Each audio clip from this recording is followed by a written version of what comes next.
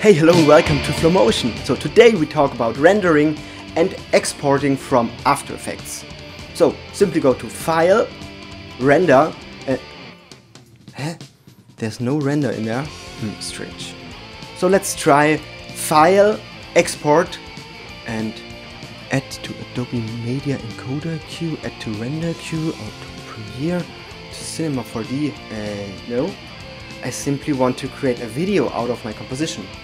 So, real quick, for all of you who don't have any time for my blah blah blah blah blah and only want to quickly render out a video and upload to your favorite social media, here's how to do that in 10 seconds. So, go to your comp, go to composition, add to render queue, and there go to output module and choose H264. Click OK. Next click on output to and choose your file destination and click on render. Done. Hey, and for all of you who want to learn a bit more, we go back to the beginning. I will show you the main formats you use today for renders and I will show you how to do it in After Effects and once you understood that, I will also show you how to do it in the media encoder and why it sometimes really makes sense to use that. Now, let's talk about why we actually want to render. Because there are mainly two reasons. The first Video and editing is finished, ready for delivery. So I send it to a client in the best possible quality. Or I upload my masterpiece to social media with a good quality if possible. Or second, I don't render it because it's finished, but because it's part of a puzzle and I plan to do something else with it afterwards. For example, color grading, or it's just a composite of green screen clips I still have to key. Or even better, I have already keyed them and now render them with an alpha channel so I can continue working on them more efficiently. So, let's start at the top. If you want to render something for delivery to a client, the Apple ProRes codec is your best friend. Not only is it the best, but it also is the most common file format for professional work these days. Why is that? Because it is able to store the most amount of information possible within your file. So, we do the same as before. Go to the composition and add it to our render queue. Now in the output module you can choose QuickTime and in the format options you have all ProRes codecs.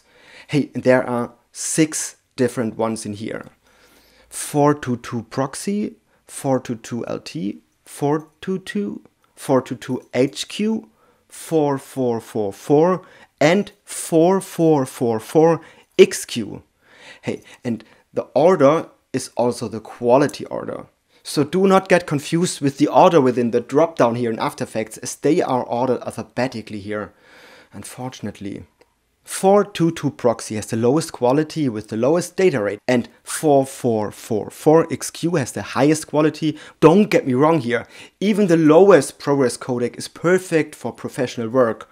Or in other words, if we take a look at the lowest and best, you won't see a difference with the naked eye. And the conclusion?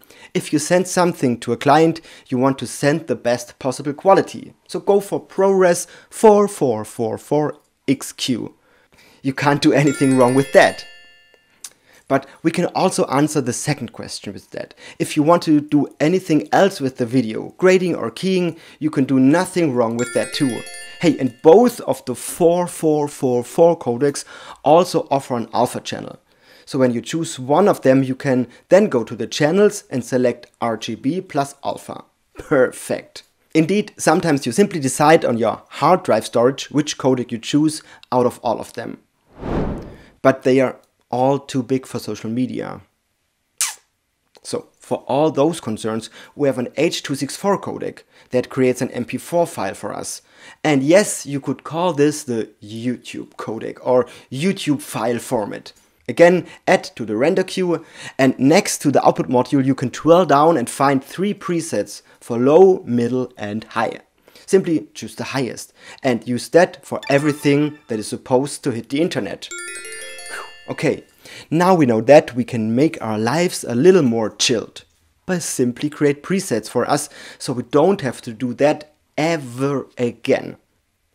Also important for you to know, if you have stored a preset, you can forget all the information from today's video and have enough free space for some fun stuff. so let's twirl it down again. Click on Make Template and in the Edit tab you can now set everything up. So I choose the best ProRes codec and also RGB plus alpha channel and call this, well, flomotion template. And now we have it here forever and I only use that. Because even if there is no alpha channel within the video, I can still use it. And if there is one, I don't have to do anything extra. Don't work hard. Work smart. Okay. And now let's do the same in the Adobe Media Encoder. Why? That was so much information already. Mm. Why not just use the After Effects render queue? And there are a few good reasons to sometimes use the Media Encoder go to composition, add to Adobe Media Encoder queue, and that will open it up and already place your comp in there. If you render something in the Media Encoder, you can still work in After Effects at the same time. And the second cool trick is that you can drag and drop compositions from different projects in the render queue and hit start and it will render all of them without opening and closing projects or wait for anything.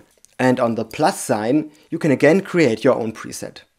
So enough presets for today? Or do you still have questions about settings and codecs? Let me know in the comments below. And while you're there, don't forget to subscribe to get more useful tips and tricks in the future. And now, I wish you a lot of fun rendering.